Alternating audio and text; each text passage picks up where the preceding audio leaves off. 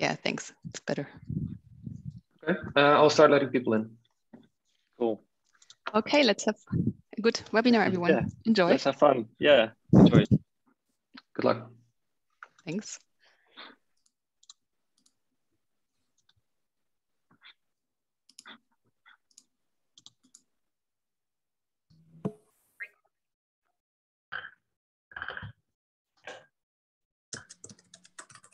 Womit kommt sie morgen? Ich werde morgen sowieso mein Fahrrad fahren. Alles.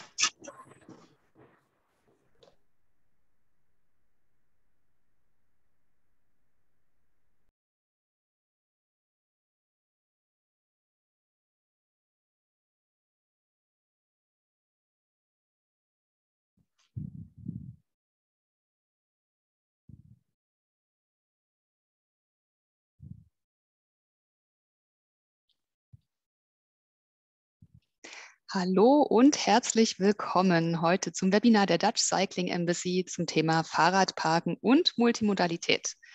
Mein Name ist Dagmar Köhler. Ich freue mich sehr, diese Reihe moderieren zu dürfen und Sie alle herzlich begrüßen zu dürfen. Wir sind hier in einem Raum zu 136.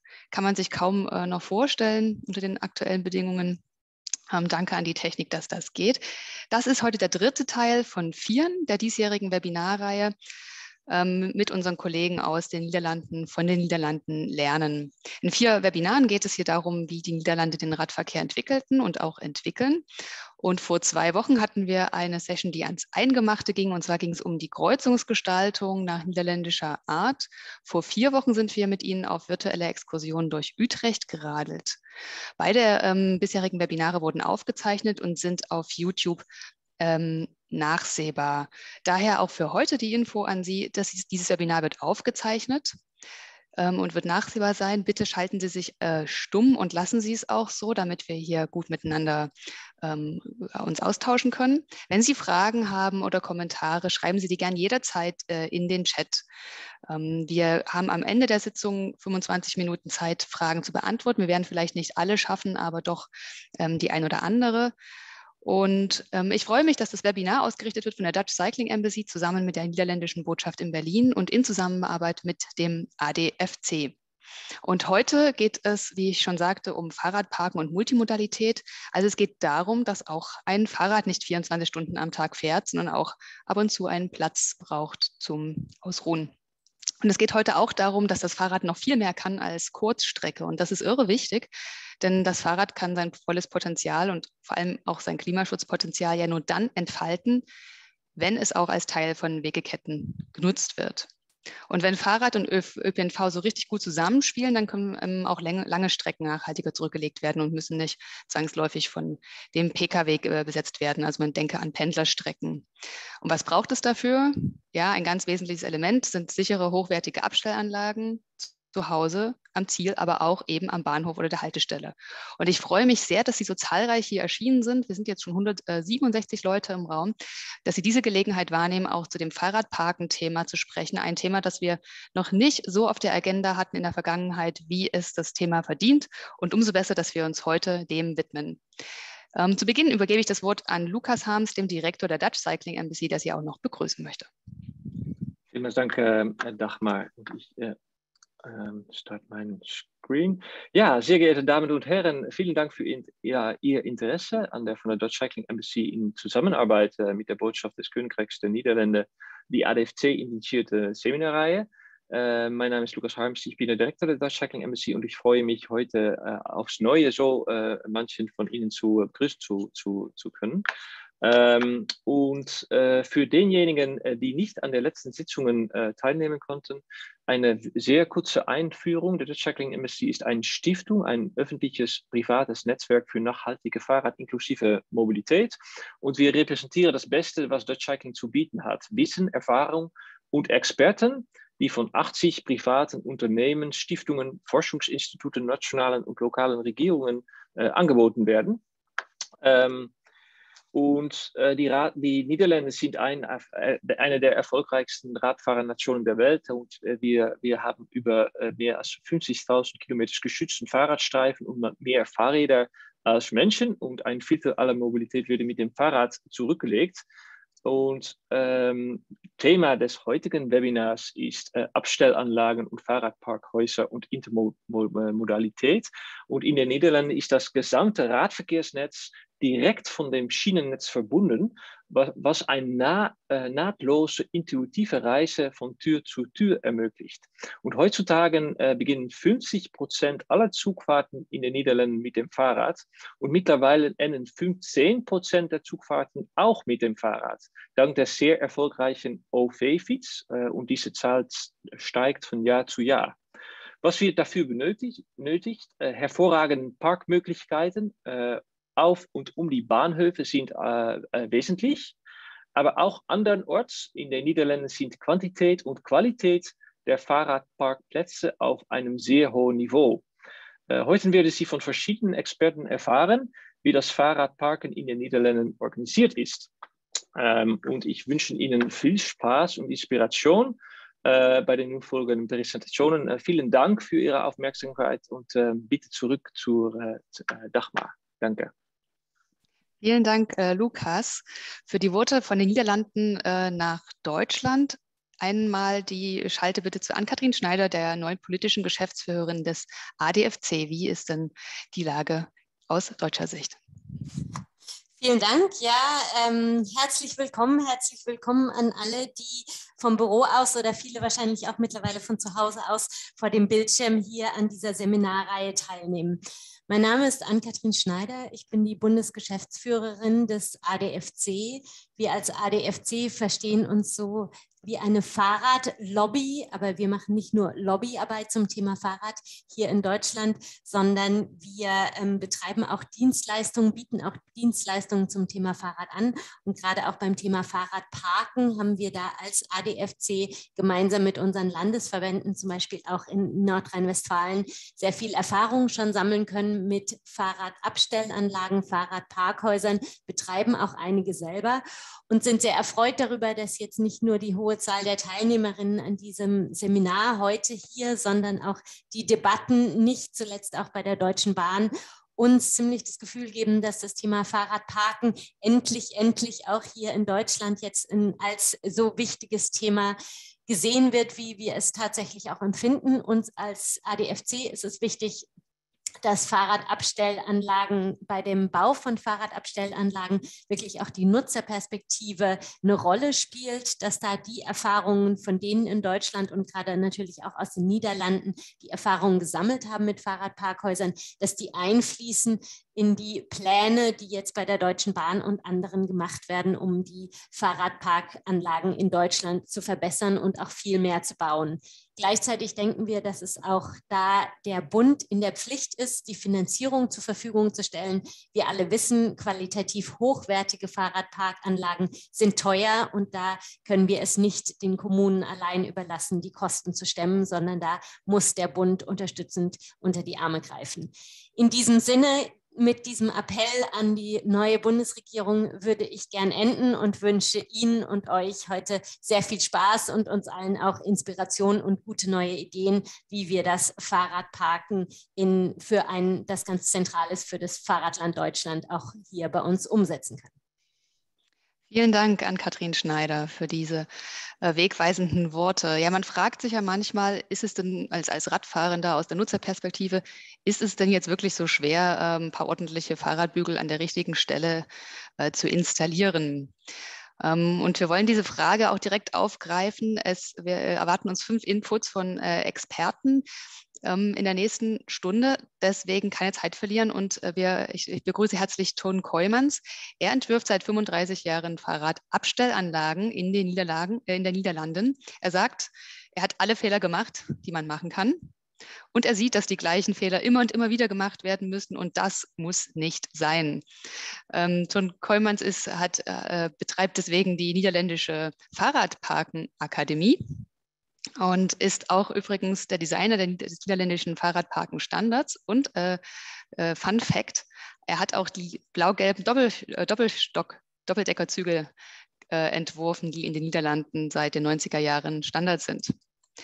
Ähm, Ton, was können wir zum Thema Fahrradparkplätze von den Niederlanden lernen?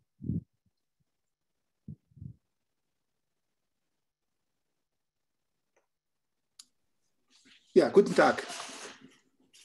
Ich habe meine, meine mein Bild ist jetzt für alle sichtbar. Okay. Äh, was können wir lernen? Ich habe zehn Minuten. Das müssen wir sehr schnell machen heute. Äh, ich möchte etwas erzählen über äh, Dutch Bike Parking Academy und am Ende auch etwas über meine neuen Produkte. Fangen wir an mit meiner Historie. Ich, das hast du schön gesagt, äh, Dagmar. Ich habe für 20 äh, Jahre her die holländische äh, Tulip entwickelt. Ein Fahrerstand, von dem über 700.000 verkauft sind. Die sind überall in die Niederlande, auch unter diese Überdachungen. Die habe ich auch entworfen. Und wie man sieht, da steht überall und hier mit Fahrrädern, so wie man die kennt von Jahren her. Das ist die Zug, über den Dagmar gesprochen hat. Und überall in Niederland sind die Fahrradschließfächer und die Überdachungen zu finden. Aber was ist jetzt los? Niederlande hatte ein Problem mit der Kapazität. Da haben wir gesagt, okay, dann gehen wir in die Höhe. Und wir haben Doppelstock-Fahrradständer entworfen. Sehr schön, die Dachung nach oben. Aber in Wirklichkeit wird das nicht so gut benutzt, weil das ist nicht so einfach für jeder, um das zu machen. Das ist ein Problem. Und ich möchte gerne reden über die Probleme. Und ich kann reden über Probleme von meinen eigenen Produkten. Sonst wäre das nicht ganz nett. Das deutsche Wort Felgenkiller ist in den Niederlanden auch sehr bekannt. Ein Felgenkiller, der, der Tulip ist ein Felgenkiller. Und der Tulip, noch immer ein gutes Produkt, wenn das Produkt kaputt geht und man hat Schaden, kann man es nicht einfach reparieren. Und mittlerweile sind die Fahrräder, die man hier auf diesem Bild sieht, ganz anders. Ganz anders. Wir haben mehr und andere Benutzer von Fahrrädern, ältere Leute, Senioren, Studenten und Mitarbeiter, die fahren auch nicht mehr mit dem Wagen nach der Arbeit, aber mit das Fahrrad. Und die Fahrräder, die jetzt verkauft werden, 80 Prozent ist ein E-Bike. Und der Preis von einem E-Bike ist zwischen 1500 und manchmal über 2.000, 3.000, 4.000 Euro. Die älteren Fahrräder waren nur 700. Und das Gewicht von den Fahrrädern war damals 20 Kilogramm, aber jetzt ist das 26 bis 30 Kilogramm. Und die E-Bike muss man auch laden. Und da sieht man, das wird gemacht einfach einstecken und dann, der Trafo ist immer ungesichert auf das Fahrrad und kann das geklaut werden. Das ist nicht, was wir wünschen. Und die Benutzer von Fahrradständer, die haben alle verschiedene Wünsche. Kurz parkieren, lang parken, einfacher Zugang ist dann gewünscht. Schneller Zugang ist gewünscht. Es muss sauber sein, es muss sicher sein und wiederum Lademöglichkeit. Das, was du hier auf dem Bild siehst, das ist die Wirklichkeit. Aber es, es ändert, es ändert. An die linke Seite das Fahrradfreundliche. Das ist ein Bild von einer Werbung. Das Fahrrad steht in dieser Fahrradstand und kann geladen werden. Aber in Wirklichkeit ist das Fahrrad nicht in diesem Fahrradstand, weil man, man muss genug Platz haben äh, und eine Befestigungsmöglichkeit, aber kein Schäden am Fahrradrahmen, kein Felgenkiller, aber auch kein Schaden an den Gabelsuspensionen. Das war ein Wort, was ich noch nicht kannte. Das ist nichts, was die Kunden wollen. Die Frage ist, wenn ich jemand fragt, mal mir mal ein Fahrrad, dann wird das vielleicht aussehen wie auf diesem Bild. Aber die Fahrräder von jetzt sind ganz anders. In Holland haben wir eine Fahrrädergruppe, ähm, das ist äh, das sind Benutzer, Hersteller und Käufer von, Fahrrad, äh, von äh, Parkanlagen. Die haben sich vereinigt und gesagt, wir machen eine ein Art von Qualitätsmarke, damit alles, was gewünscht wird, äh, gemacht wird. So passen die, die Fahrräder in die Systeme, haben die Benutzer Zugang, ist die Kapazität, die wir, die wir wünschen, ist die niedrig oder muss man eine, eine hohe Kapazität haben? Ist das Vandalen und wetterbeständig? Ist das Vandalen sicher? Kann man das reparieren? Ist das umweltfreundlich? Wir haben das gemacht für die holländischen Fahrräder. Vielleicht könnten wir das auch machen für die deutschen Fahrräder, weil die sind ein bisschen anders. Dann gehen wir nach die Zukunft. Wir brauchen Platzierungsraum für Fahrräder. Ja, und Fahrräder, will man die auf die Straße haben? Was ist wichtiger, das Auto oder das Fahrrad? Sollen die Sachen in Sicht sein, in die Nähe von einem Bar, von Laden? Ist das kostenlos parken oder muss man bezahlen? Hat man viel oder wenig Platz? Wird das alles kontrolliert? Diese Sachen muss man alles überdenken, wenn man will, für das eine oder das andere System. Man kann auch in einen Keller parken. Kein Problem, wenn man den Zug nimmt und den ganzen Tag weg ist. Aber wenn man nur ein Bier trinkt in einem Bar, will man das nicht. All diese Sachen muss man überlegen. Mit meiner ähm, Deutsch Bikeparking Academy möchte ich das mal versuchen zu, zu organisieren auf eine richtige Weise. Ich mache das mit einem 4C-Modell. Und das funktioniert so. Erstens hat man die Kapazität. Wie viel Raum hat man? Wie viele äh, Fahrräder will man parken? Man hat Komfort. Ist das alles, was die Leute wünschen? Wird das alles vorgesehen? Wie haben wir Kontrolle über diese Sachen? Muss die Leute zahlen? Wollen wir, dass die, die, die Fahrräder da nicht den ganzen Woche stehen? Und wir, haben, wir müssen äh, äh, Entscheidungen machen. Wir müssen Entscheidungen machen. Okay, fangen wir an mit Kapazität. Man kann Fahrräder am einfachsten auf dem Fahrerstand äh, hinstellen. Ja, das kann.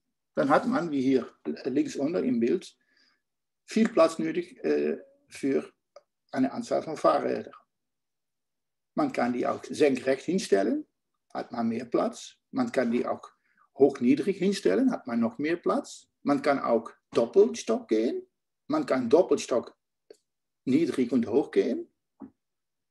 Und hat man immer mehr Platz für Fahrräder auf eine gewisse Quadratmeter.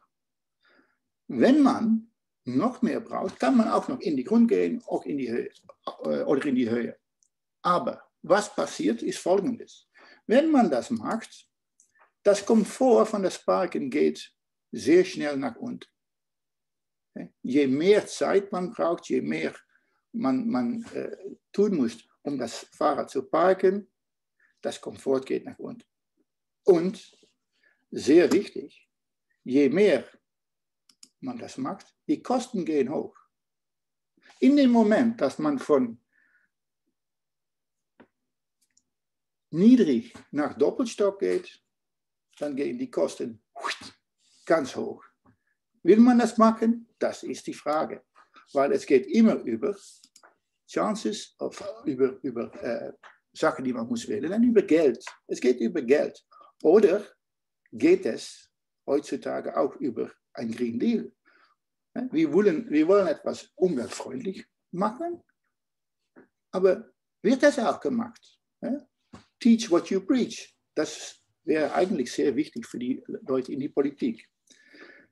Was ich jetzt gesagt habe, ist ein kleines Stück von was ich normalerweise alles äh, äh, äh, unterrichte. Hier gibt es ein Bild, wie das arbeitet. Hier stehen Fahrräder auf dem Fahrstand. Hier sind sie angebunden, das ist immer wichtig. Hier gehen wir hoch-niedrig auf 500 mm. Hier gehen wir nach 375. Jetzt werden sie nicht mehr alle benutzt, bin ich sicher. Dann können wir noch eine schöne Oberdachung machen. Doppelstock, 32 Plätze? Nein, in Wirklichkeit sind das keine 32 Plätze, das ist weniger. Okay, ich habe noch zwei Minuten für Streetstuff. Ich habe mit meinem Betrieb gesagt, ich möchte all diese Probleme lösen. Kein Felgenkiller. Ich habe eine Achsel-Narbenunterstützung. Die unterstützt den Narben, damit das äh, Rad nicht gebogen werden kann. Ende Felgenkiller. Ich habe eine flexible Art von Anbinden von das Fahrrad, damit man das überall anbinden kann. Und wenn man das Fahrrad hinstellt, kann man das Anbindeteil hin und wieder bewegen. Dann haben wir noch für das Laden eine sehr einfache Box. Die kann man aufmachen, Power einstecken, eigene Trafo einstecken und dann den Box äh, schließen mit die Kette, damit beide Sachen zusammen ver, verschluss, äh, verschließ, verschließ sind, gesichert sind. Ja? Reparieren, wenn wir etwas machen, dann machen wir das reparierbar, weil es aufgebaut ist aus einer gewissen Anzahl von gleichen Teilen. Alles wird gepackt auf eine Palette, ganz einfach. Hier sieht man, wie das funktioniert. Auf die Narbe wird das Rad hingestellt und man kann ganz einfach anbinden. Wenn hier etwas kaputt geht, kann man einfach das Teil, das kaputt geht, wegnehmen und reparieren. Natürlich haben wir das am liebsten aus Cortenstahl, ganz grün, Green Deal. Das kann auch so sein, ein bisschen weniger und das kann auch traditionell sein und in Farbe. Wie sieht das aus? lokale Montage. In zwei Stunden haben wir das hingestellt. Und das ist der nächste Morgen. Alle Fahrräder passen hier rein. Alte, neue Mountainbikes, diese Schwab-Bike, elektrische Bike.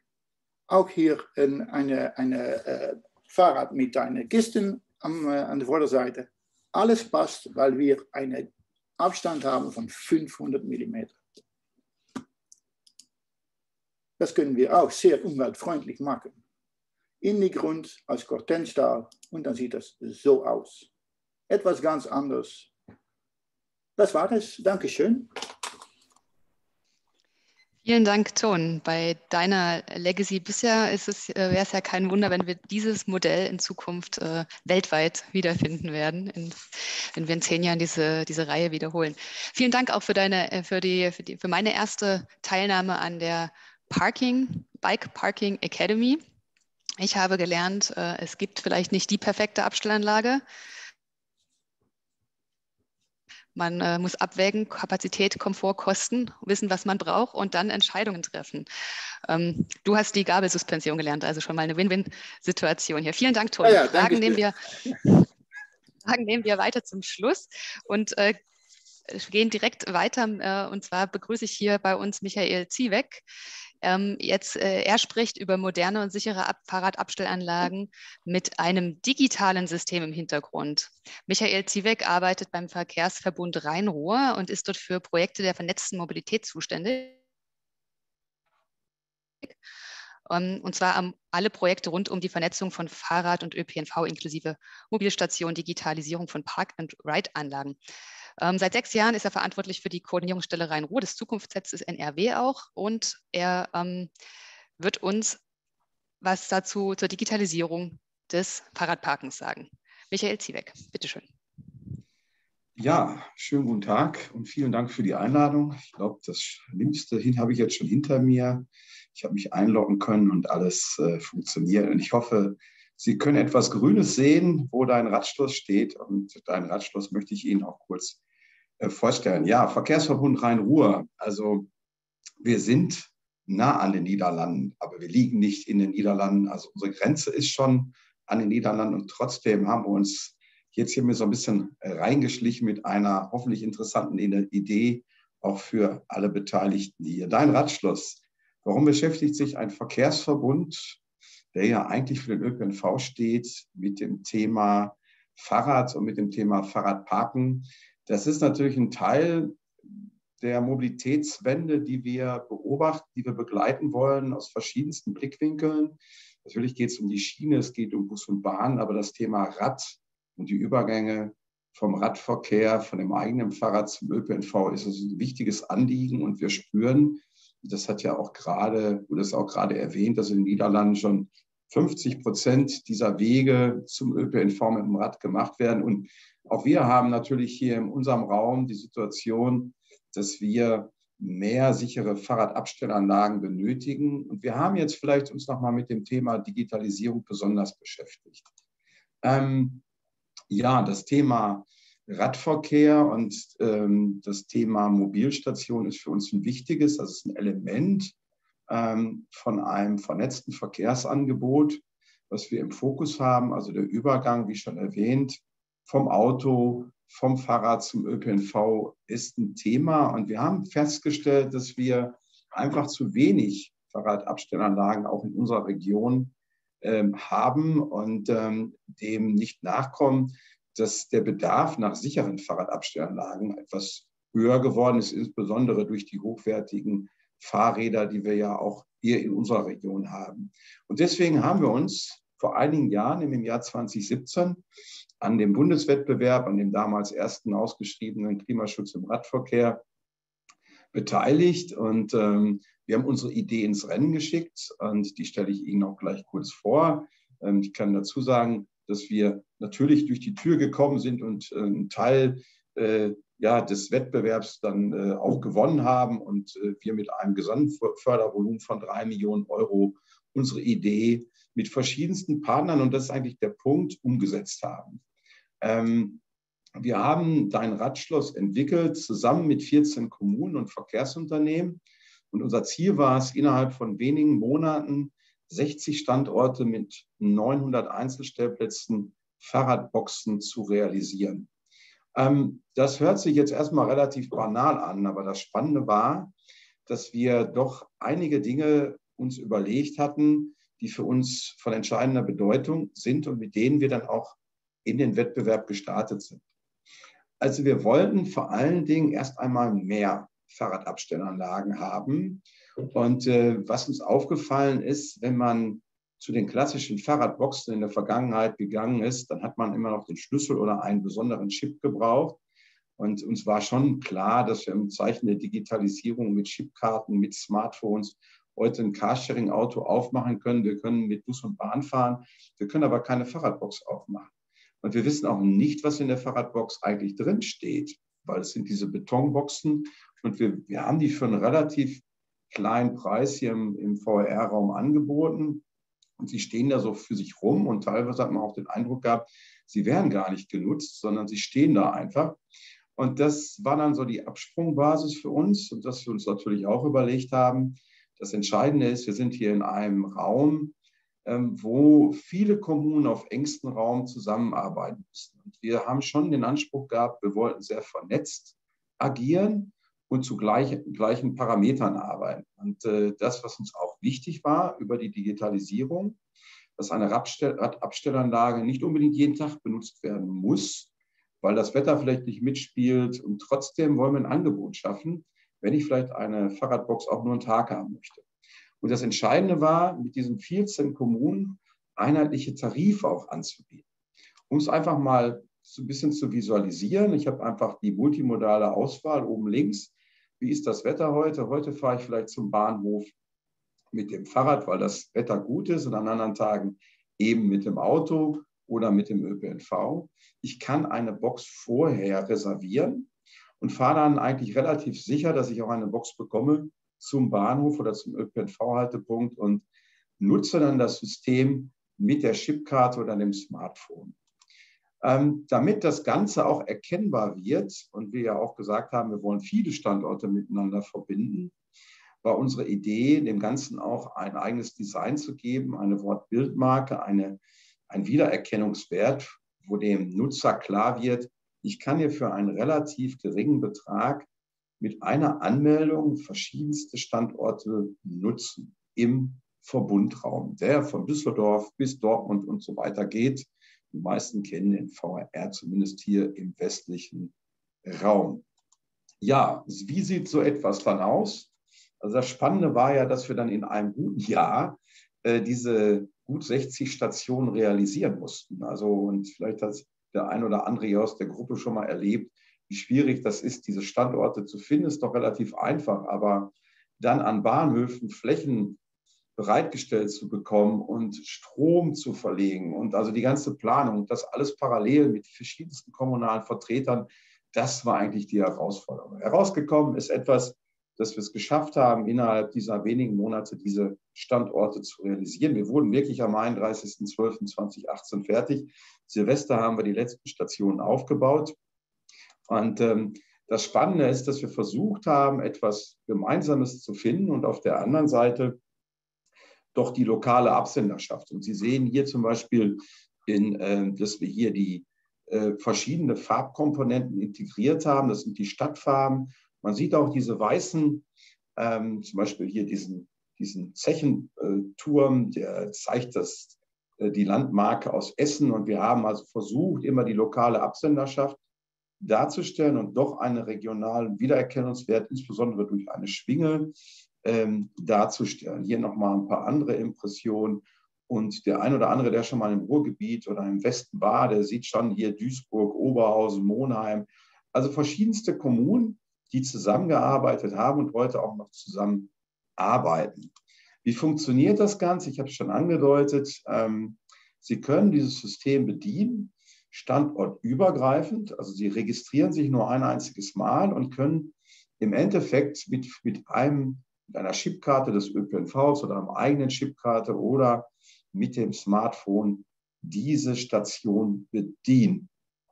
Ähm, auch das ist dann im Endeffekt äh, eine projekteigene Kundenoberfläche. Sie können im Endeffekt ähm, ja mit relativ einfachen Schritten diesen Standort auswählen. Und ähm, was wir auch geschafft haben, wir haben jetzt mit vielen Verkehrsunternehmen zusammen eine Lösung entwickelt, dass ich mich auch gar nicht mehr registrieren muss. Also wenn ich ein ÖPNV-Ticket heute schon besitze, kann ich die Leistung von deinem Radschloss einfach dazu buchen und sage, ja, das, das kaufe ich jetzt dazu da miete ich jetzt einfach mal für heute, für einen Tag, äh, kostet bei uns dann ein Euro eine Fahrradbox dazu und äh, habe dann im Endeffekt die Garantie, die natürlich bei Verfügbarkeit auch zu nutzen. Ähm, so sieht etwas dann auf der Oberfläche aus und ähm, hier haben Sie links einfach mal im Beispiel noch die freie Box 9, die kann ich dann auswählen.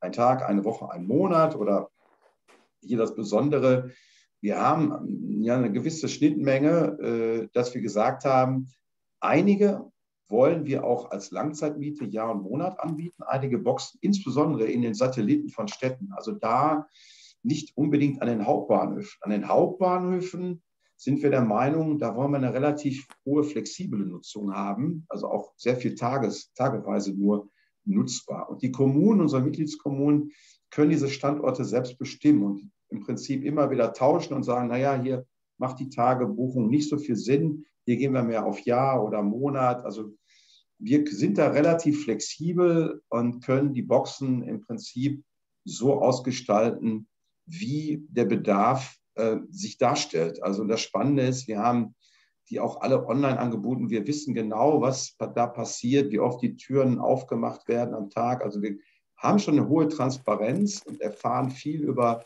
die Nutzbarkeit dieser Boxen oder Sammelabstellanlagen.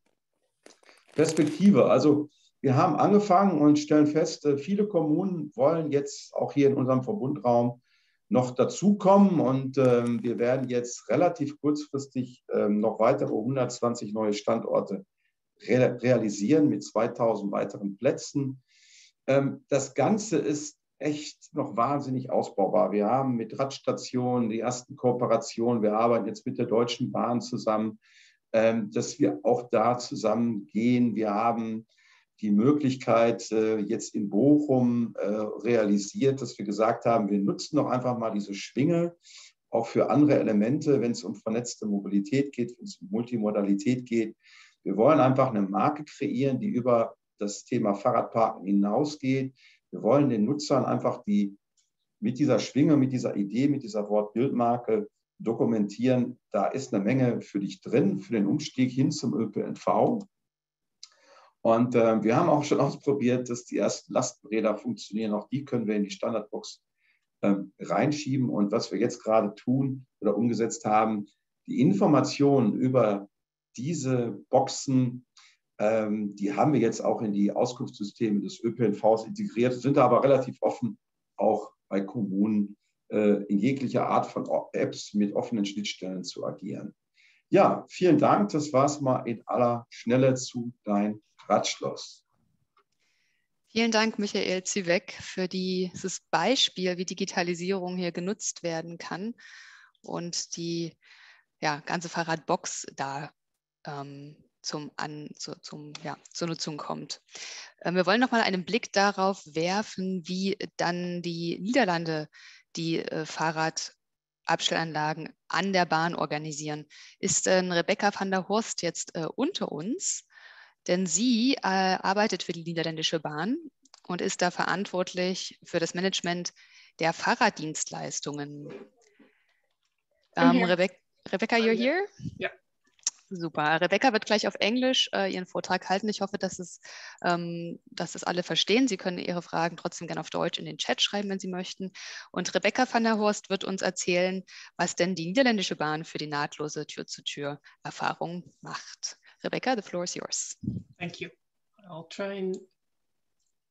Uh, can you see my screen? We don't see your screen yet. Okay, I'll try again. share? Yeah, super. He's super. You see it now? Perfect. Yes. Well, thank you for having me. My name is Rebecca van der Horst. I work for the Dutch Railways. Um, and I apologize for giving this uh, talk in English. My German isn't good enough for me to give a, a, presentation in German. If you have a question in German, I'll try and do my best, and otherwise, one of the colleagues from the Dutch Cycling Embassy may be able to help me. Um, I'd like to spend the next 10 minutes explaining a bit about the bike train system we do have in the Netherlands. Um, uh, next slide. So I'll, I'll try something different. Um, imagine you're getting up in the morning, you're going to the beach, you have a meeting with a friend, Mark, uh, and you're going to meet at 11 o'clock in Zandvoort. Well, imagine it's summer because now it's quite cold to go to the beach. So you check your travel app and then you get on your bike to go to the railway station. Um, it's, it's an easy 10 minute cycle. So you're at the station in, uh, in, in 10 minutes. Uh, you arrive, oh, oh, too quick. You arrive at the station, do you take out your travel card? You simply present it, in this case, to the, to the system or to the per personnel who's working there and the doors automatically open.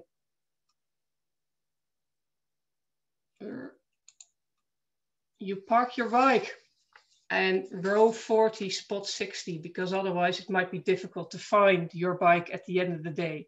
Where did I park it? And you walk into the railway station. You get a cup of coffee, you get onto the train, and while sitting on the train, looking forward to your trip at the beach, you think a second about why was it so easy to take your bicycle to the train? Why have you taken the train? Why didn't you take a different mode of transport?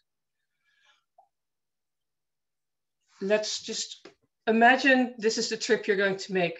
This is a trip a million Dutch cyclist train users make every single day. Uh, maybe for now it was a leisure trip, maybe it's a business trip, um, we have 1.3 million travelers per day um, previous to Corona. And 39% of these travelers uh, come to the railway station by bike. So, um, and how do we achieve, what do these travelers need from us? What they want is a seamless trip from door to door. So they don't want to have to think about any part of the process um, going from home to their final destination. To achieve this seamless trip, we do four uh, different things. First is we provide a seamless trip, a seamless traveler experience, which means that the uh, bicycle uh, services that we have, parking your bike, uh, a rental bike, and maybe uh, a, a, place where you can fix your bike when it's broken, are available at the stations that, where you can park your bike that the, the, the facilities are open, that they're safe, that they're affordable, and that they're easy to use. If they're easy to use, um, that also means checking in and out with your travel card, not having to think about payment afterwards because it's all integrated into one system. The second part that we focus on is, is our op operational excellence. Um, as I said before, we have uh, three types of uh, um, bicycle uh, options. So parking your bike, our rental um, OV fiets rental possibility, and fixing your bike at the station. But not all stations are the same. You have big stations, you have small stations. And of course, we adapt the, uh, the, the solutions we have per type of station with the size of the station. So if we have 53 uh, larger stations uh, with a parking, uh, a guarded option with personnel, then we have 53 stations where we uh, have a guarded option but without personnel. Um, we have the OV Fiets for Rent at 300 locations and a bicycle repair shop at 32 different stations. Uh, we also have uniform operations in our parking garages, standard processes for paying, for travelers for parking enforcement so that a traveler, wherever he alights the train, will find the same level of service he can find at any other station. Um, now, in total, in 2020, 95% of all the travelers gave us a, a, report grade of a seven or higher. This is slightly different in the Netherlands. A 10 is the highest grade, not the one. Uh, so for us, we're actually quite happy with uh, this uh, grade. So then the third thing we focus on, oh, no, one more, sorry, I, I just changed around the slides, so I'm sorry. Um, one of the other things we do in operational excellence is our OV rental bike. It's available at 300 different locations. Um, uh, so, and it's also on your travel card. Uh, so you can alight at most stations. You can look in the travel app if it's available or not. Uh, we have 26,000 bikes in total. And in 2019, they made 5.3 million trips. And there, it's spe specifically very popular for the last mile. So getting from the station to your final destination. It also makes for a less demand of taking your bike onto the train. And since the trains are normally very busy with travelers, there's not that much space for bicycles. And while by presenting this bike, we actually prefer people not to take their bike onto the train. Then the third aspect is our uh, continuous innovation in the processes that we have. Uh, we have a uh, three innovations that we are currently using. We have a so-called bike lane, which means you don't even have to use your travel pass to um, get in to the uh, parking garage. And it has a very short video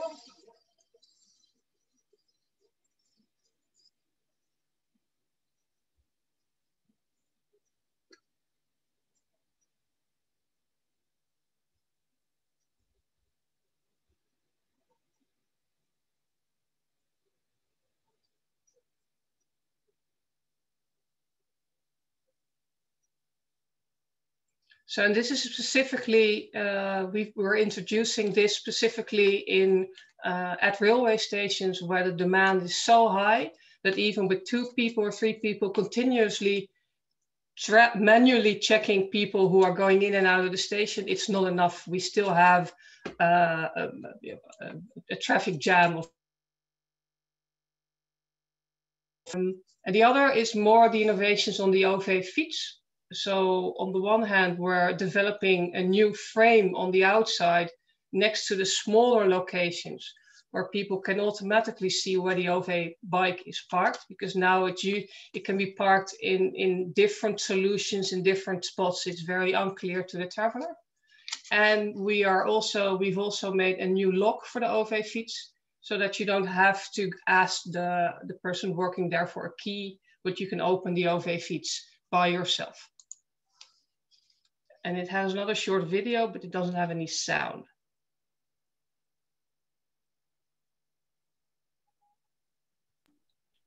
Yeah, Rebecca, so you can comment uh, okay, for us yeah, on the sure. video. Sure. Well, you can just do you just um, put your travel card next to the lock. The lock opens automatically, and then wherever you park it, you can you can close it again with the same travel.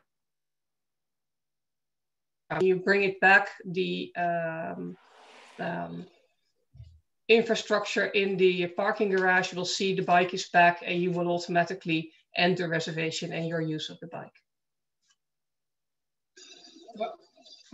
So, so then finally, the fourth phase uh, we focus on is the uh, the first three of our phases is our in our own domain. So where we actually improve all the facilities for our travelers, and this is actually just a step before that.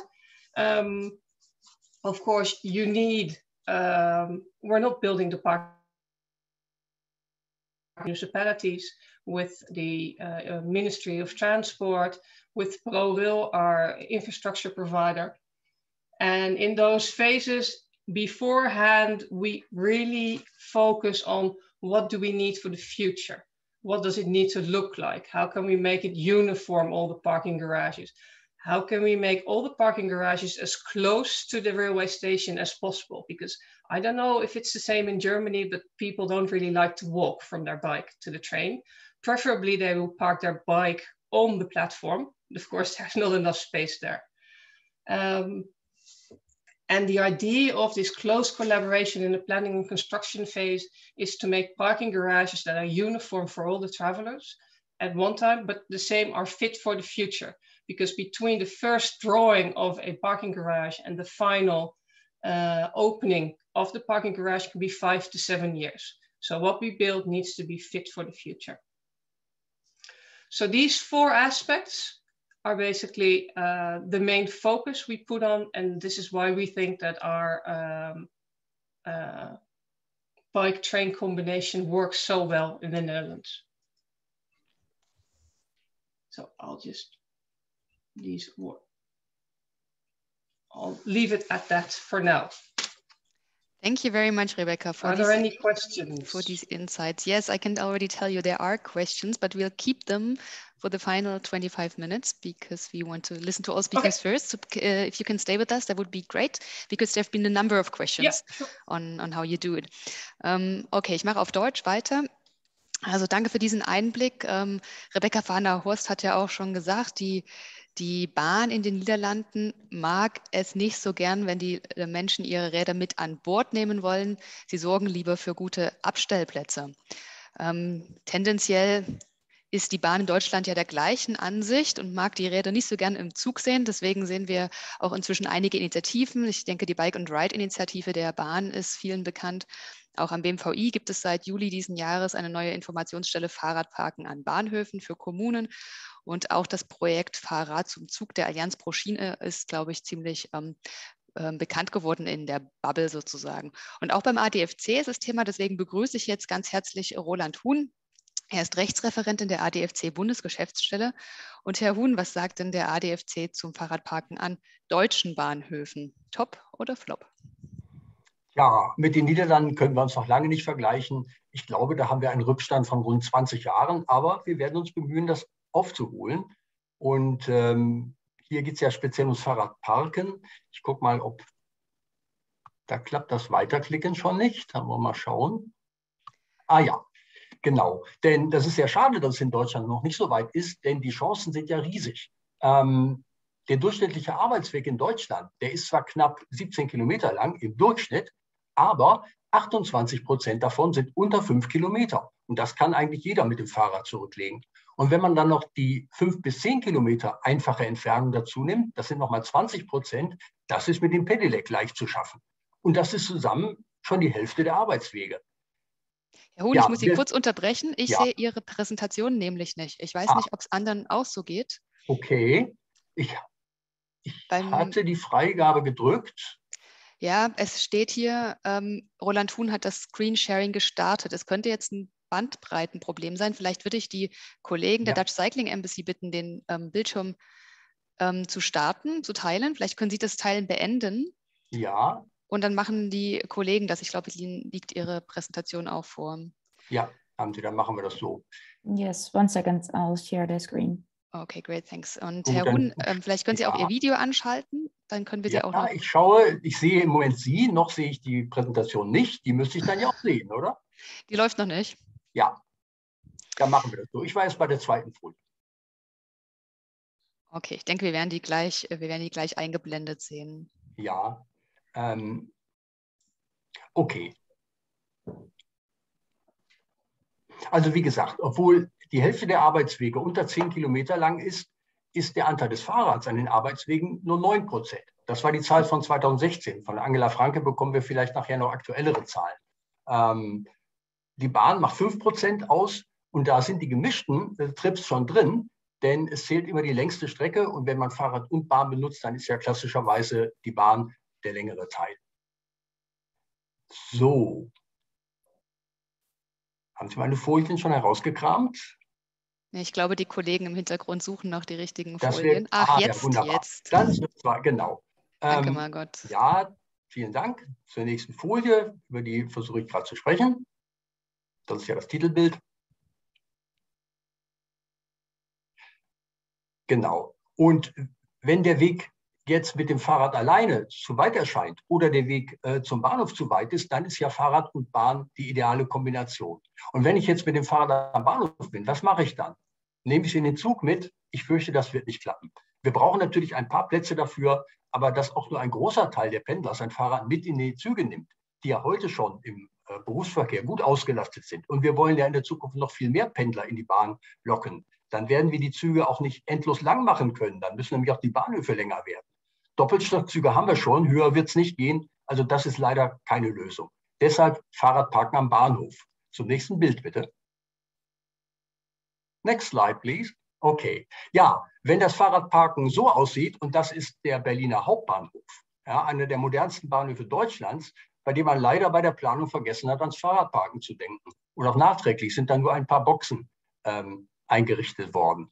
Ähm, ja, also so kann man sein Fahrrad nicht am Bahnhof parken. Und obwohl das Bild einigermaßen neu ist, sehe ich hier Räder, die ich eher so in die 80er Jahre einsortieren würde. Also das sind die Räder, mit denen man sich traut, zum Bahnhof zu fahren. Denn wenn die verschwinden oder beschädigt werden, dann ist es nicht so schade drum. Aber natürlich soll man mit modernen und sicheren Fahrrädern fahren.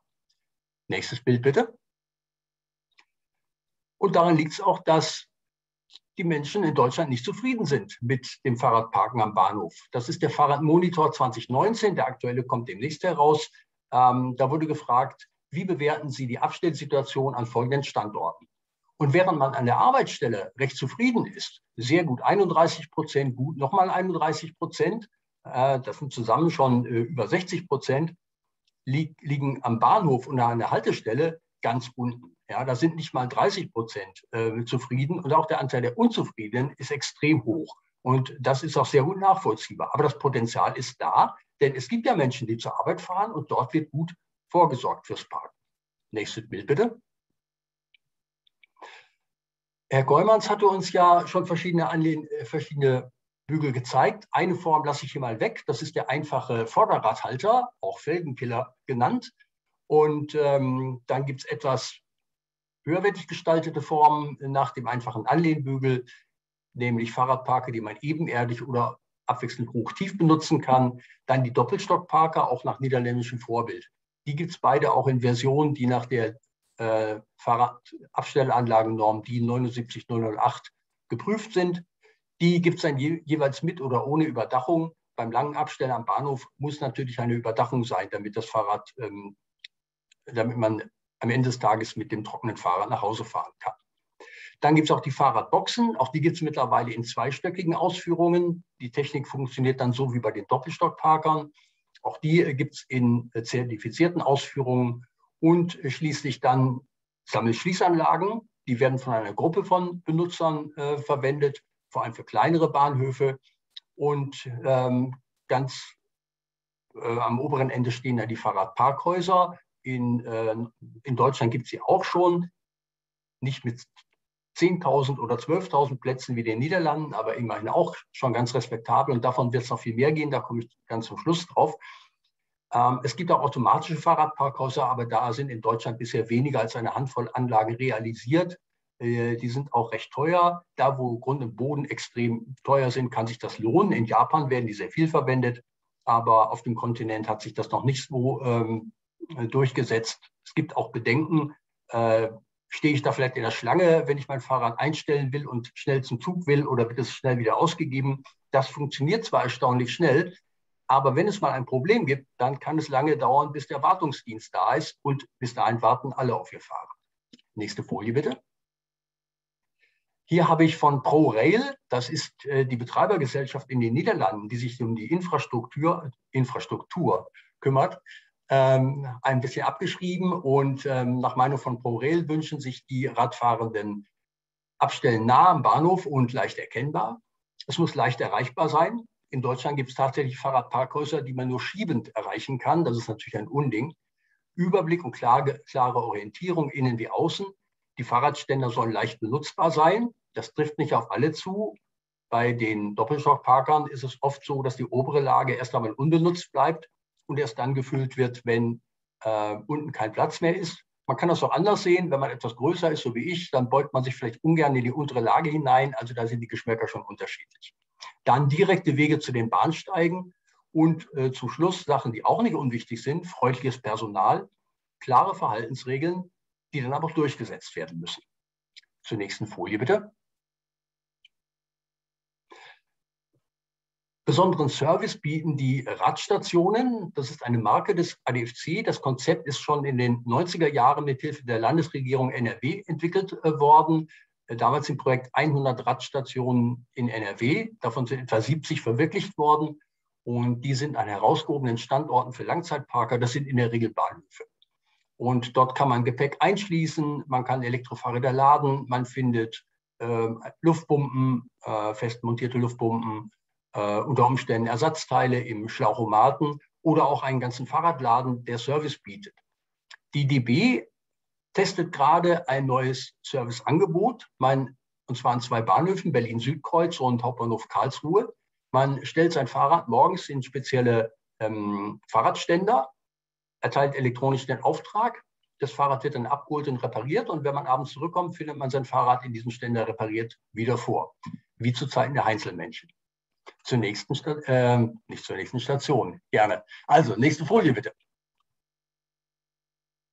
Ein Beispiel für die Bremer Radstation. Ähm, dort gibt es auch Fahrradvermietung, gibt auch einen Fahrradladen äh, leider eine der Stationen, die man eigentlich nur schiebend erreichen kann, aber daran halten sich Bremerinnen und Bremer natürlich nicht. Nächste Folie bitte. Das ist ein Blick von innen. Hier das typische Bild in einer Station mit Doppelstockparken. Die obere Lage ist äh, zum Teil gefüllt und das hängt natürlich auch davon ab, ob man vielleicht ein Elektrofahrrad hat. Das kann man zwar theoretisch auch oben einstellen, aber ähm, wenn es sehr schwer ist, dann scheuen viele den Aufwand die untere Lage kann man unter Umständen dann wieder nicht benutzen, wenn hinten auf dem Fahrrad ein, ähm, ein Kindersitz ist. Man kann sein eigenes Fahrrad dann zwar einstellen, aber man kann dann die Schiene für die obere Lage nicht mehr herunterklappen. Auch das sind Dinge, die man im Betrieb beachten muss. Nächste Folie. Wir haben ja heute keinen Vertreter der Deutschen Bahn dabei, deswegen, wir haben ja gute Kontakte zu Station und Service. Darf ich etwas vorstellen, was vielen schon bekannt ist, aber noch nicht so genutzt wird, wie, wie es möglich wäre, äh, die Bike-and-Ride-Offensive der Deutschen Bahn äh, mit dem Ziel, 100.000 Stellplätze bis 2022 zu schaffen. Das wird wahrscheinlich nicht äh, klappen, aber das Programm wird verlängert. Und dann äh, werden auch die 100.000 Stellplätze ausgenutzt. Hier liegt der Fokus nicht auf Fahrradparkhäusern, sondern auf schnellen und sichtbaren Veränderungen mit hoher Standardisierung und Anlagen, die einfach montiert werden, also ohne umfangreiche Planungsarbeiten und, äh, und Bauarbeiten. Interessant ist die Förderung durch den Bund. Die Kommunen erhalten 70 Prozent Förderung nach der Kommunalrichtlinie und finanzschwache Kommunen können sogar 90 Prozent äh, Förderung erhalten. Die profitieren auch von einem ähm, Vertrag, den ähm, Station und Service mit Anbietern geschlossen hat, wo natürlich durch den Masseneinkauf die Anlagen dann noch billiger sind. Man ist daran aber nicht gebunden. Wer sagt, in meiner Kommune kommen nur Fahrradständer Modell X, ähm, den, äh, der kann auch die verwenden. Zur nächsten und fast schon letzten Folie. Die Bahn und auch der ADFC sehen Bedarf für mindestens eine Million zusätzliche Stellplätze in Deutschland bis 2030. Und eine Million mag einem viel vorkommen, aber die Niederlande haben 500.000 Stellplätze an Bahnhöfen in Betrieb und wollen noch einmal 100.000 dazu bauen. Und das bei einem Fünftel der Einwohnerzahl, die wir in Deutschland haben. Also die eine Million ist durchaus ein realistischer Bedarf, denn viele Fahrräder stehen ja auch schon an Bahnhöfen, aber ungeschützt ungeschützt vor Diebstahl, der Witterung ausgesetzt. Und das sind dann wirklich alte Bahnhofsgurken, mit denen man eigentlich nicht fahren sollte. Die Finanzierung ist noch offen, da ist noch sehr viel Lobbyarbeit nötig. Ich habe mal in den neuen Koalitionsvertrag geguckt und da steht eigentlich nur drin, intermodale Verknüpfungen werden wir stärken. Hm, das ist sehr beliebig. Also Sätze wie, wir werden eine Million zusätzliche Stellplätze am Bahnhöfen finanzieren, wären mir lieber gewesen, aber das steht nun mal nicht drin. Es sind anscheinend sehr viele Fahrradparkhäuser in Planung. Der ADFC bekommt viele Anfragen von Architektinnen, die fragen, die nach Details fragen, wie, wie steil darf die Rampe sein und äh, können wir das gemeinsam mit Autos, ähm, können wir Fahrräder mit Autos unterstellen und so weiter. Solche Fragen wird demnächst eine neue vom Bund geförderte Beratungsstelle beantworten. Das heißt, sie tut es schon, die Stelle ist aber noch im Aufbau. Die Ausschreibung für diese Beratungsstelle hat ebenfalls Station und Service geboten und ähm, die Internetseite www.radparken.info kann ich dann empfehlen. Das entlastet auch den ADFC von Anfragen, äh, für die wir auch nicht unbedingt die Experten sind, denn wir sind ja keine Architekten oder Architektinnen. Haben wir noch eine letzte Folie? Ja, genau. Eine Literaturempfehlung, natürlich auch aus den Niederlanden. 20 ähm, Jahre Erfahrung mit der äh, Entwicklung, dem Entwurf und der Umsetzung von Fahrradparkhäusern. Ähm, das Buch ist auf Niederländisch geschrieben, klar. Aber die Einführung ist auf Englisch, die Zusammenfassung der Kapitel sind Englisch und es gibt 180 Abbildungen. Teuer ist es auch nicht, rund 30 Euro. Das kann ich eigentlich nur jedem empfehlen, der sich mit Fahrradparken, speziell mit Fahrradparkhäusern beschäftigt. Vielen Dank. Vielen Dank, äh, Herr Huhn, für diesen interessanten Ritt durch das Fahrradparken an deutschen Bahnhöfen. Sie haben ja schon darüber gesprochen, was, was äh, der ADFC fordert, was die Menschen brauchen. Und wir wollen ähm, genau da nochmal eine, mit einem kleinen Impulsvortrag tiefer reinschlüpfen in die Menschen und welche Bedürfnisse die Radfahrenden hinsichtlich der Abstellanlagen und bei Wegeketten eigentlich haben. Und dazu begrüße ich ganz herzlich Professor Angela Franke. Ähm, sie ist eine der neuen Stiftungs- oder sie hat eine der neuen Stiftungsprofessoren für Radverkehr inne, und zwar an der Uni Kassel. Ähm, Angela, du bist Verkehrspsychologin und ich bin gespannt, was wir von dir jetzt noch lernen können. Ja, vielen Dank, Dagmar. Vielen Dank auch für die Einladung heute. Ich freue mich sehr, nochmal da wie so eine Klammer drumherum zu machen, und, äh, um die ganzen Vorträge und auch nochmal reinzuschauen, was gibt es für Zahlen, was gibt es für Bedürfnisse, was gibt es für wirklich Anforderungen und das nochmal zusammenzufassen heute in dem letzten Vortrag und dann natürlich auf die Diskussion überzuleiten. Bedürfe von Radfahrenden, dafür müssten wir eigentlich wissen und auch verstehen, wie Mobilitätsverhalten beeinflusst wird. Das heißt also, wie bewegen sich denn nicht Menschen im Raum, wenn ich zwei Personen die gleiche Infrastruktur gebe und der eine fährt Rad und die andere nicht oder auch umgedreht, dann ist das ja eine Frage, aus welchen, mit welchen Faktoren das beeinflusst wird. Natürlich persönliche, ne? es gibt Gewohnheiten, auch geschlechtsspezifische Bedingungen oder auch eine bestimmte ich mal, äh, Verhaltenskontrolle, die ich mit einem bestimmten Verkehrsmittel verbinde. Natürlich haben wir auch Witterungsbedingungen, die hier mit reingehen. Wir sind ja als Radfahrend denn Wind und Wetter ausgestattet, ausge, ausge, äh, Ja, also wir müssen, wir müssen sozusagen im Wetter ganz nah dran an der Umwelt auch äh, Rad fahren oder wollen das auch. Und damit haben wir da auch natürlich einen hohen Einfluss. Und als einen ganz wichtigen Punkt, und darum geht es uns ja heute auch in dieser gesamten Webinar, die infrastrukturellen Voraussetzungen. Das heißt, mit mehr und besserer Radverkehrsinfrastruktur, Radwegen und auch natürlich Abstellanlagen wird das Radfahren gefördert. Und ein ganz wichtiger Punkt sozusagen für mich als TGW davon ist, dass Verhalten sich ändern kann mit entsprechenden veränderten Umfeldbedingungen. Und das ist, denke ich, was ganz, ganz Wichtiges, was wir hier mitnehmen sollten, denn die Veränderungen sind nötig und natürlich auch sehr dringend. Wie sieht das aus? Was haben wir für Bedürfnisse? Das nochmal wirklich zusammengefasst von Bedürfnissen des Radverkehrs. Persönliche Bedürfnisse heißt, ne, ich, ich setze körpereigene Energie zu. Das heißt, ich bewege mich aktiv mit allen Vor- und Nachteilen. Das heißt, dass ich natürlich idealerweise keine Umwege möchte und natürlich auch äh, Zeit äh, sparen möchte. Das hatten wir ja gerade auch schon, ne? dass ich eben nicht noch laufen möchte, erst weit zum nächsten Verkehrsmittel, sondern dass das alles schnell und einfach geht. Auch steigungsarm. Das ist bei manchen Fahrradparkhaus, äh, frage ich mich schon, wie man vielleicht an steile Rampen hochkommt oder enge, äh, enge Routen dort wählt. Und natürlich ganz wichtig auch für mich selber die subjektive Sicherheit in der Situation, äh, die ich hier als Radfahrender sehe und vielleicht auch eine kritische Situation habe und deshalb nicht mehr weiter Rad fahre. Als zweiter wichtiger Punkt hier die Infrastruktur. Wir brauchen eine flächendeckende Infrastruktur, eben die subjektiv objektiv sicher ist, ganz klar. Auch eine ausreichende Breite, Überholmöglichkeiten, ebene Belege, das sind alles die Sachen, die wirklich in der Fläche sind, im Radnetz. Und der dritte Punkt, und deswegen darum geht es uns ja heute, und der wird ganz häufig vergessen, ist wirklich die Bedürfnisse auch des Radverkehrs an die Abstellanlagen. Also entweder idealerweise zielnah, ja, am der Eingangstür, ja, wirklich Quelle zu Ziel. Das ist ja eins der Hauptvorteile des Fahrrades, dass ich das Verkehrsmittel, wo ich am besten einschätzen kann, noch mit wie lange ich brauche. Und natürlich geht das nur, wenn ich von Tür zu Tür fahren äh, kann und jetzt nicht noch ewig irgendwo eine Abstellanlage, eine sichere suchen muss oder da noch lange Wege habe.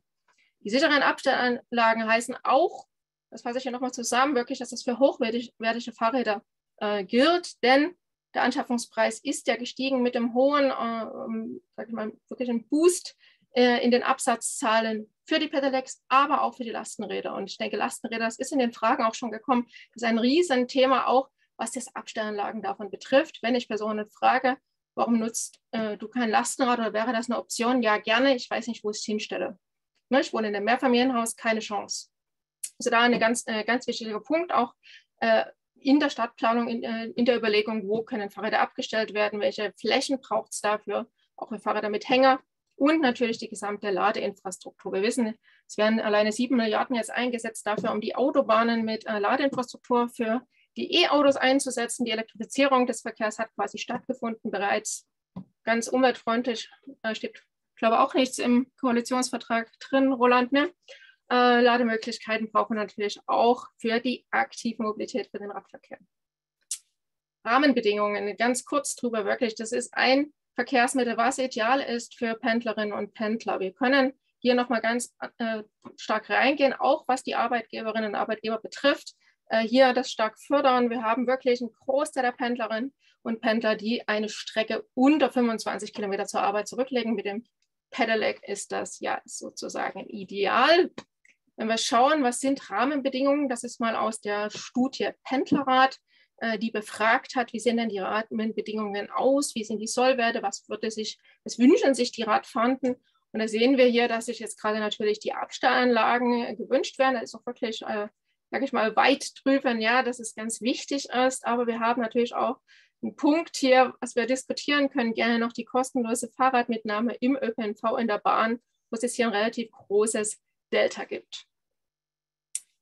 Weitergehen, das ist heute noch nicht so äh, gefallen, aber ich denke, es ein ganz wichtiger Punkt ist, der sich jetzt nicht nur auf die Abstellanlage eine Auswirkung hat, aber an sich auf das Mobilitätsverhalten mit einem äh, veränderten äh, Arbeitsleben und damit natürlich auch veränderten Mobilitätsgewohnheiten, die sich durch Corona ergeben haben und damit auch äh, mit dem mobilen Arbeiten, können wir auch da nochmal ein, ein Potenzial nutzen und auch überlegen, welche Personen haben hier welche Bedürfnisse an die Mobilität und wenn ich zum Beispiel nur einmal im, in der Woche oder dreimal die Woche pendeln muss, äh, kann ich auch ganz andere im Endeffekt ähm, Nutzungen ne, äh, von Abstellanlagen, aber natürlich auch von der Infrastruktur sehen.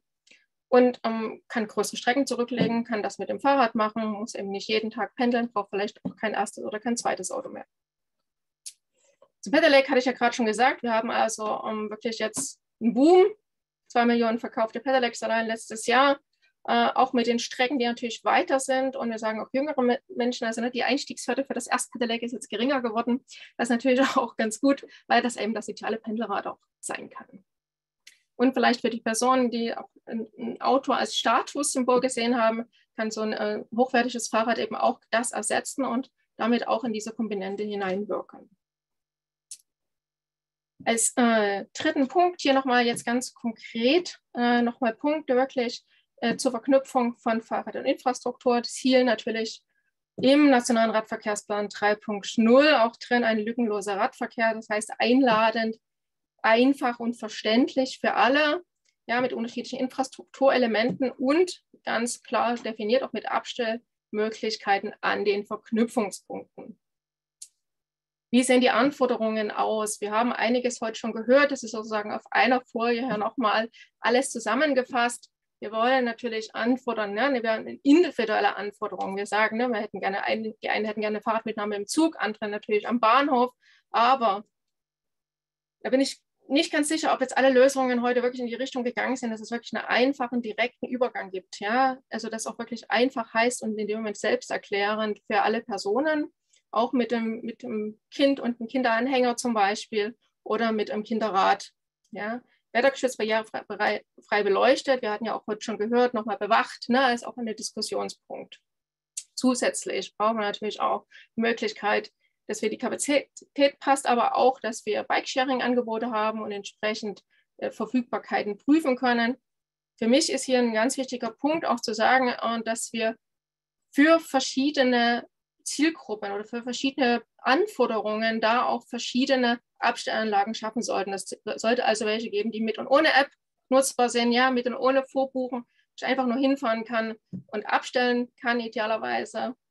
Aber auch natürlich welche, wo ich bezahlen kann und welche, wo ich nicht bezahlen muss. Wir haben ja hier als Beispiel das Fahrradparkhaus äh, in Utrecht, äh, sehr gefeiert, würde ich sagen, schon ein großes Leuchtturmprojekt, ja, das größte Fahrradparkhaus an sich, kann ja komplett reinfahren äh, und dort wettergeschützt äh, sein Fahrrad abparken. Vorher war das ja eher, wie Roland gerade berichtete, so ein Bahnhof mit überall Fahrrädern, aber auch mit Vorteilen. Also wenn Sie dort Nutzende befragen, bereuen viele, sind auch viele traurig, dass es das nicht mehr gibt. Ich konnte nämlich einfach hinfahren und es war umsonst.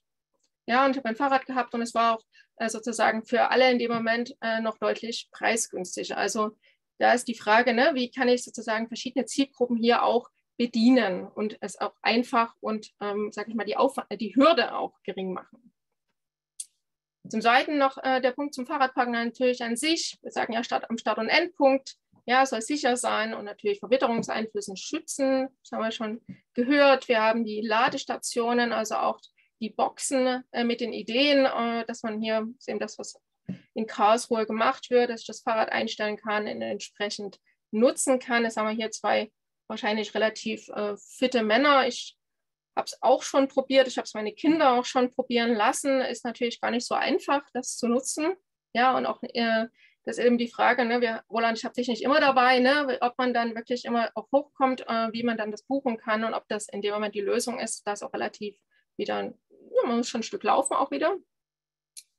Und ähm, zu den intermodalen Verknüpfungen auch äh, noch ein, ein Punkt, um, dass wir natürlich hier die Pendler als Zielgruppe haben, die wissen, okay, ich kann jeden Tag mein Fahrrad sicher parken, ich kann ein hochwertiges Fahrrad dafür nutzen und äh, kann damit auch wirklich längere Distanzen fahren.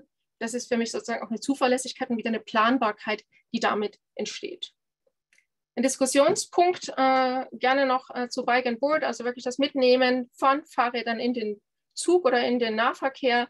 Ähm, wird auf der einen Seite natürlich gewünscht, ist auch sinnvoll. Gleichzeitig haben wir der, auf der anderen Seite auch Rollstuhlfahrende, wir haben Personen mit Rollator, wir haben äh, Kinderwagen, also wir haben auch einen, einen, begrenzten Platz. Die Frage, ob sozusagen der Peak für wenige Wochenenden im Sommer die Kapazität vorzuhalten, ob sich das lohnt oder inwiefern hier äh, eine, eine Lösung gefunden werden kann, entsprechend mit entsprechenden Abteilen oder auch mit bestimmten Zeiten, wo Fahrräder mitgenommen werden und dann eben auch Zeiten, wo weniger Fahrräder oder wo die Fahrräder vorgebucht werden müssen. Und als allerletztes äh, noch zum Bike-Sharing. Äh, das ist für mich, denke ich, auch ein wichtiger Punkt. Ich finde es äh, sehr gut, das auch integriert zu sehen, zum Beispiel im Bus zu wissen, wenn ich aussteige, habe ich dort an der Busstation drei Bike-Sharing-Fahrräder, die gerade verfügbar sind. Also auch diese Verknüpfung zu haben äh, und dann einfach bequem weiterfahren zu können. Und das heißt also eben nicht, das Fahrrad mitnehmen zu müssen in dem Moment im Bus. Soweit eine kleine Zusammenfassung, einen Einblick auch in Daten aus der Wissenschaft. Natürlich freue ich mich über Fragen, Diskussionen, Anregungen für Forschungsthemen und äh, natürlich auf die Diskussion jetzt. Damit zurück an dich, Dagmar. Vielen Dank, Angela, für diese Sicht auf die Dinge. Ähm, super, ich bedanke mich herzlich. Ich bitte alle Referentinnen Referenten, die wir jetzt hatten, äh, Ton Koimans, Michael Ziebeck, Rebecca van der Horst, Roland Huhn und Angela Franke, ähm, die Videos nochmal einzuschalten, damit wir jetzt ein paar der Fragen aus dem Chat äh, miteinander beantworten können. Wir haben hier parallel im Hintergrund ähm, die Klassifizierung von Ton Koimans aufgegriffen und ähm, werden jetzt versuchen, die Fragen durchzugehen nach den Themenbereichen Komfort, Kosten, Kapazität. Das sind ja die drei, die drei Eckbausteine, um die es hier geht. Und weil wir ja auch in der Infrastruktur darüber sprechen, dass zu wenig Augenmerk auf die subjektive Sicherheit geworfen wird, fangen wir jetzt mit dem Komfortthema an. Und eine Diskussion, die sich im Chat ausgebreitet hat, ist ja die Frage, sollten ähm, die Fahrradabstellstationen 24 Stunden ähm, menschlich besetzt oder bewacht sein oder reicht es, dass man digitalisierte Lösungen per App ähm, anbietet? Die Frage richtet sich, an, denke ich, an ähm, Michael Ziewek, an Rebecca, an Angela und an Rebecca auch anschließend dazu, um, Rebecca, the question is, should the bicycle parking um, be um, stuffed 24 hours or is it sufficient to have digital solutions? And there has been the question, what are the opening hours of the bike repair or service stations? And I would like to link those questions for you because that has a lot to do with um, staffing and manning. Um, yeah, maybe Rebecca, you will start, and then um, Michael Zivek, Rebecca, Angela, you may, or Angela and uh, Michael Zivek, you can add on this. Rebecca, you're, you're still muted. Uh, yeah. Is it better now? Yeah, yes. thank you very much for the question. Um, it, it depends the opening hours of, of the facilities. We have quite a few uh, stations that are open for 24 hours a day.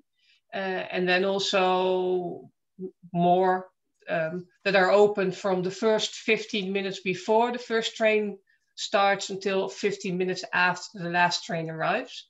So everyone has time to pick up their bike.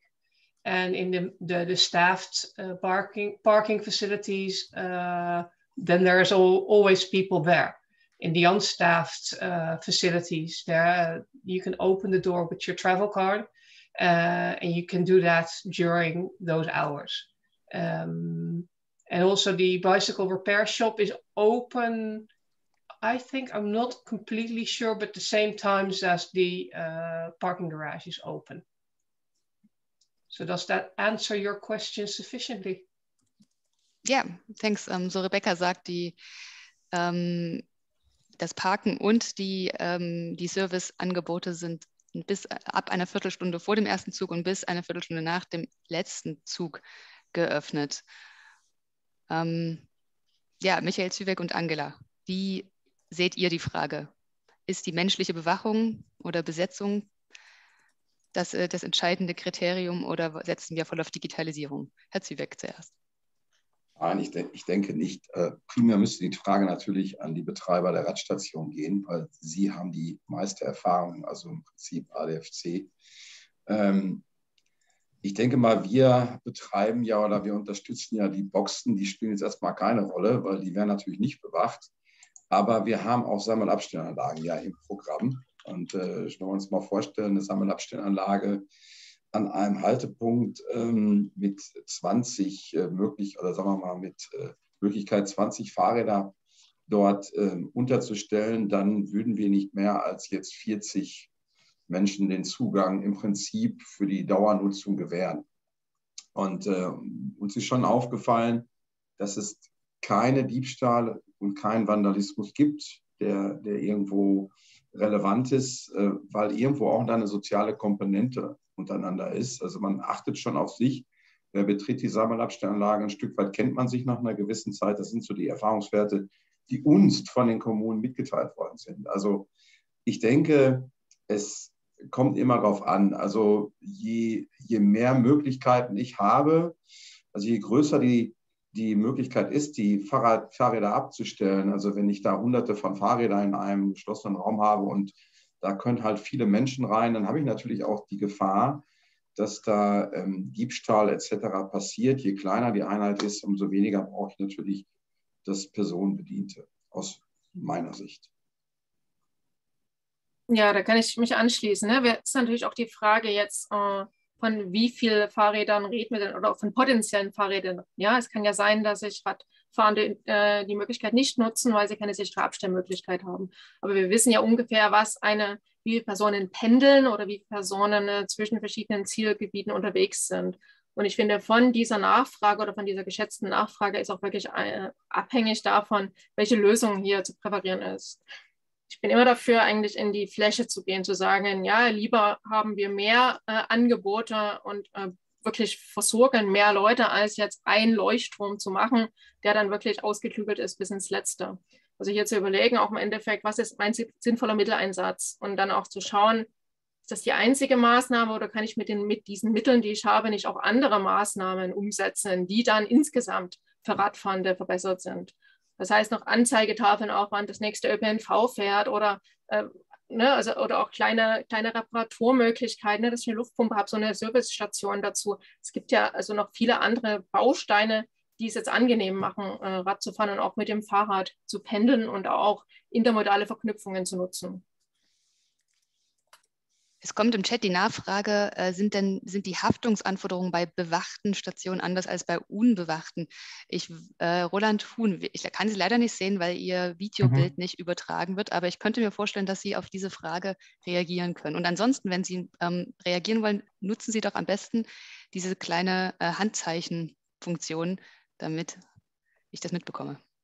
Ja, also wenn Sie Ihr Auto im, Fahrer, im äh, Parkhaus abstellen, da wird es auch nicht bewacht. Es gibt natürlich eine Kontrolle bei der Ausfahrt, aber die dient mehr dazu, dass Sie auch Ihr Parkentgelt entrichten. Und anders ist es auch nicht im Fahrradparkhaus. Bewachung wird da in der Regel nicht versprochen. Äh, Bewachung ist übrigens ein erlaubnispflichtiges Gewerbe, das kommt auch noch dazu. Also Bewachung wird in der Regel nicht versprochen. Andererseits gibt es auch, zumindest in den 70 ähm, Radstationen nach ADFC-Konzept, sehr wenig Diebstähle, auch bei solchen, die nicht äh, persönlich äh, betreut werden. Ich sage bewusst nicht bewacht. Es gibt Videoüberwachung. Das ist oft in Verbindung mit äh, der Bundespolizei. Ähm, ob dann wirklich immer jemand auf den Monitor guckt, ist eine andere Frage. Aber man kann zumindest die Bilder nutzen, um dann äh, die Diebe zu verfolgen, um Begehungsweisen zu sehen, die sich vielleicht wiederholen, um in der Zukunft doch mal spontane Kontrollen zu machen. Das ist auf jeden Fall möglich also nicht rund um die Urbewachung, aber Stichproben zum Beispiel durch die Bahnpolizei. Also das gibt es schon. Aber Bewachung mit einer Garantie, dass man auch Geld bekommt, wenn das Fahrrad verschwindet, das wird in der Regel nicht versprochen. Besten Dank dafür. Eine Nachfrage an Ton. Ähm, was gibt es denn für ge geschützte und äh, Lösungen, die nicht so kostspielig sind und damit auch für Kleinstadtbahnhöfe in Frage kommen? Ton, dein ähm, Mikrofon ist noch äh, Entschuldigung. Ähm, ja, das ist Anbinden. Anbinden ist das, das, das Erste.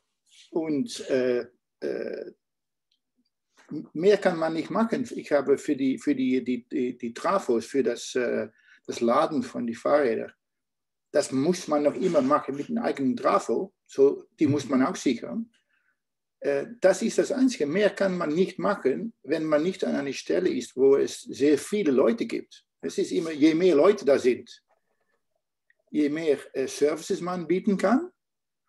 Und umgekehrt, wenn es viel Verkehr gibt, ist die Chance auf, auf äh, äh, äh, Diebstahl weniger. Das ist ein bisschen doppelt.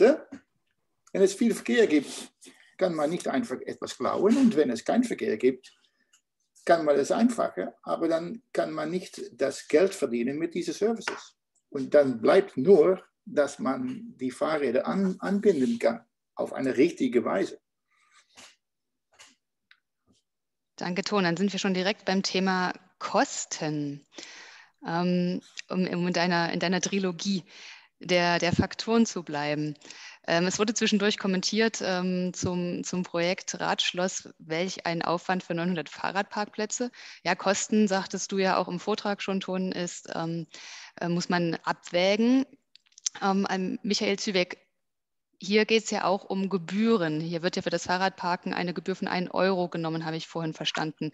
Wie werden denn diese Gebühren für das Abstellen akzeptiert? Und danach auch die Frage in die Niederlande an ja, Ton oder Rebecca. Ähm, was was gibt es da für Erfahrungen? Gibt es überhaupt gebührenpflichtiges Parken in den Niederlanden? Aber zuerst Michael Zübeck.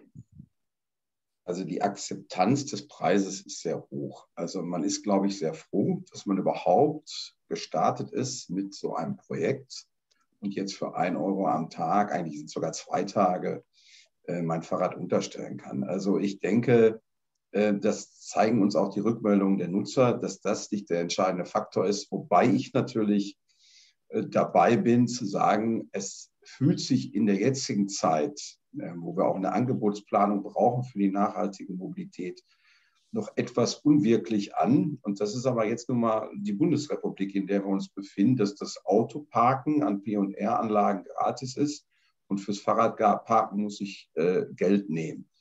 Im Übrigen ist es ja in den Radstationen ähnlich. Also ähm, ich glaube, wichtig war, dass man einen niedrigen Preis wählt. Aber das ist natürlich sicherlich dann auch nochmal eine Forderung, die man aufstellen sollte, auch an die Politik, so etwas dann auch gleichzustellen, dass das Fahrradparken ähm, nichts mehr kosten darf. Das ist auch meine persönliche Meinung. Allerdings ähm, wie gesagt, ähm, das ist natürlich der Anfang, wo wir uns gerade bewegen. Andere sind da schon weiter, deswegen schauen wir ja in die Niederlande.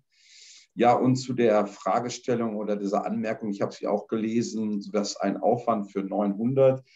Ich will ja die Perspektive aufzeigen. Es ist ganz wichtig, dass es ein Startschuss war und dass wir relativ mit relativ geringem Aufwand ähm, jetzt, die wir auch fast zu 100 Prozent fördern, neue Boxen aufbauen lassen können auf ein System, das fertig ist. Also das Hintergrundsystem, die Software ist fertig und die ist eigentlich so schlau, dass ich so weit gehen kann, die Radstationen, die heute übrigens auch in NRW sehr häufig nicht angebunden sind an multimodale Datendrehscheiben. Die stehen relativ autark da als ein Punkt. Und der andere ist, ich kann sogar so weit gehen, vielleicht Leerstände in Innenstädten, zumindest für eine gewisse Zeit, wenn ein Ladenlokal leer ist, so aufzubauen, dass sie mit relativ einfachen Mitteln, nämlich nur mit dem Zugang, den zu verändern, das auch schaffen kann, so etwas in dein Radschloss zu integrieren. Und wir arbeiten, wie gesagt, mit der Deutschen Bahn zusammen.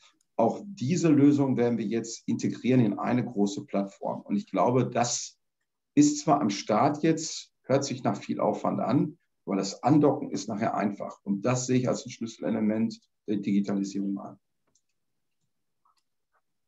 Und in, den Niederlanden ist das denkbar, dass Gebühren genommen werden? This is paying for parking your bike, right? Yes, right. yeah. Uh, price acceptance for parking your bike in the Netherlands is quite low. Mm -hmm. So it's different than in Germany. Uh, we have quite a quite a few of our parking facilities, our guarded facilities, have the first 24 hours free. Mm -hmm. And then there's a fee of a euro, roughly a euro after the first 24 hours. And you see that a lot of people, especially during the weekends when there is a night, so you go over the 24 hours, people prefer to park outside the parking facility than stay inside and pay that fee. Um, and this is actually quite um, we're we're trying to find a solution for that because we've built a very nice parking facility and we want people to use them. So people stay in them during the weekend. Also we need to earn some money because with the first 24 hours free we don't earn any money on parking facilities but we also don't want to make the uh, um, uh, the, the total cost too high. So it's um it's it's a challenge in the netherlands but parking uh, price acceptance is very low. Okay, klare Botschaft. Äh, äh, die Niederländer zahlen nicht für das Fahrradparken, sondern finden Wege drumherum. Ton, möchtest du da was ergänzen? Ja, wir sind nicht daran gewöhnt. Autoparken in Amsterdam kostet zwischen 5 und 10 Euro pro Stunde. Ein Bier kostet 5 Euro, aber das Fahrrad hin, hinstellen, dafür will man nicht bezahlen.